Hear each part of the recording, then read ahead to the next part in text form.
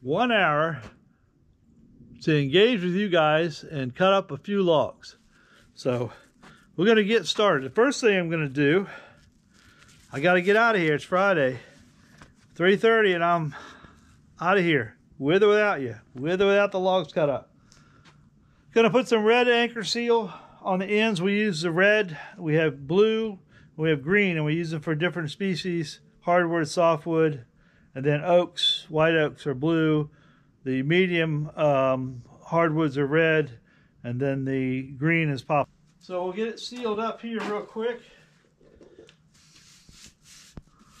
Don't got to worry about going all the way to the inside, outside.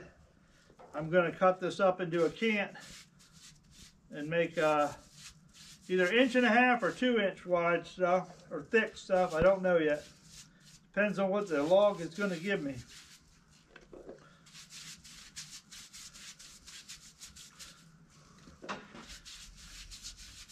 This stuff works good, boy. You get in your clothes, you got to wash them three or four times before you get it off of there, if it comes off. So, all right, we're going to time lapse this one right here, and then we're going to get to the beech nut tree that's over there for our second test of the 10 degree blade. We've already done one maple, but I want to go ahead and get both maples out of the way and then we'll jump over to the beech nut. So, and hopefully we can get them done in an hour. We'll find out.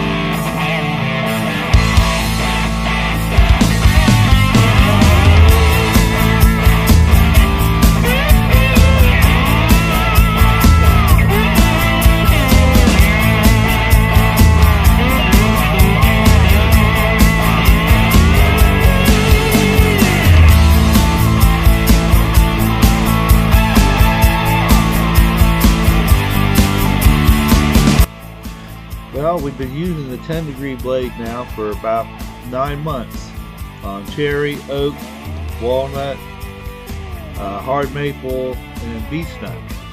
And so far, I've been very happy with the blade. It does tend to help us speed up the cutting. And it seems to last quite a while compared to using the Turbo 7 on mild hardwood. So, so far we've been very happy.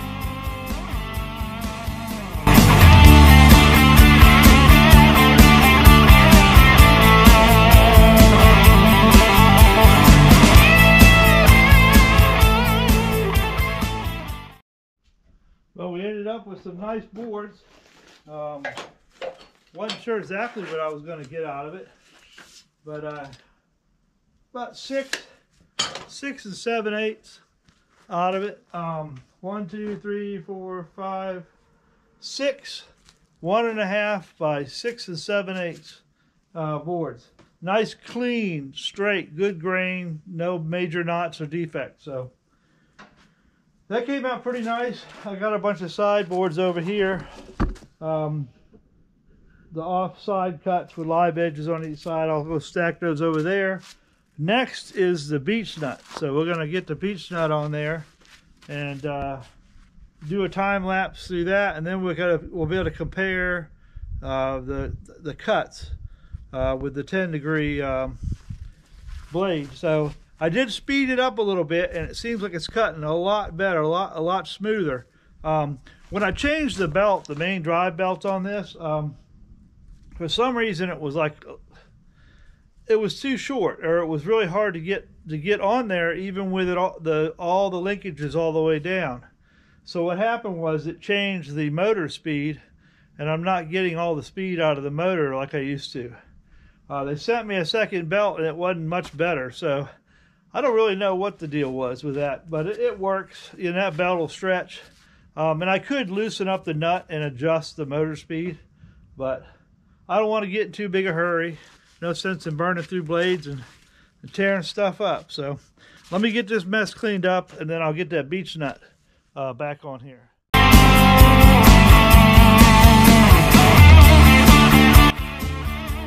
Since the time that we've been using the 10 degree, we've also tried out the 9 degree.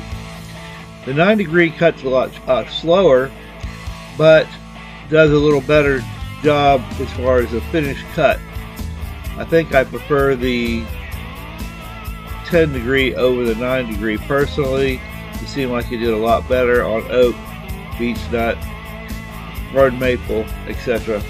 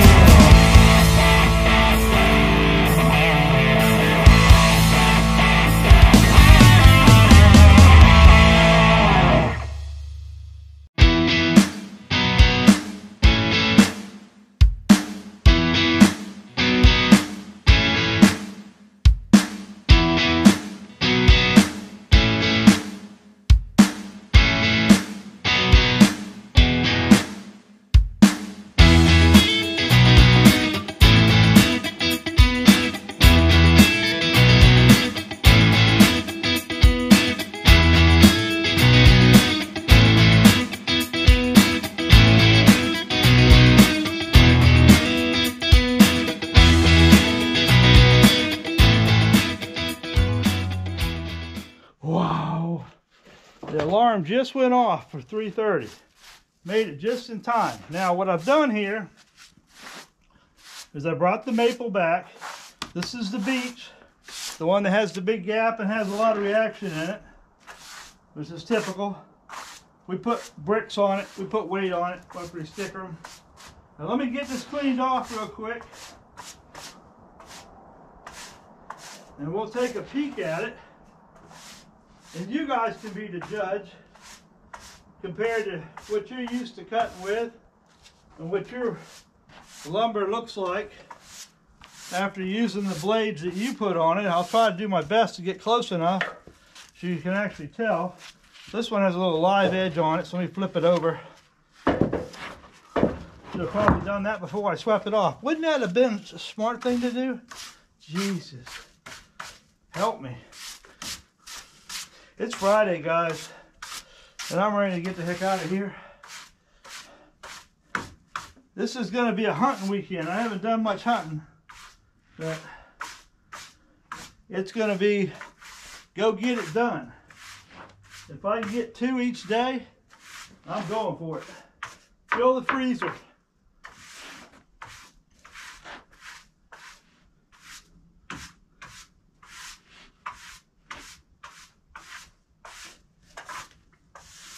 Yep, I'm hitting the woods, and I'm even going to bring my climber and go to my special spot where I know the does are running. Seen a couple in the back field. I could have rifled them down, but I didn't feel like it that day. But this weekend's go get it day. So look, guys, I'll try to do a good, I think that's a good video right there, that sun shining on it. You can kind of see how that blade is finishing. This being beech nut, this being the maple, and you be the judge as to how you think that blade did compared to maybe the blades that you're using. Um, it's hard to say. Um, there's my alarm again. I think it's a little smoother. Of course, without being here in person, you know, it's really hard to, even a camera doesn't show you at all. But, uh, but this maple had some different stuff in it. Look at this crazy stuff right here. It didn't have a lot of the ambrosia like I thought was going to have it. It had these little streaks, so that's kind of neat, you know. It's kind of neat when a tree gives you something different than you used to. Let me turn that noisy sucker off.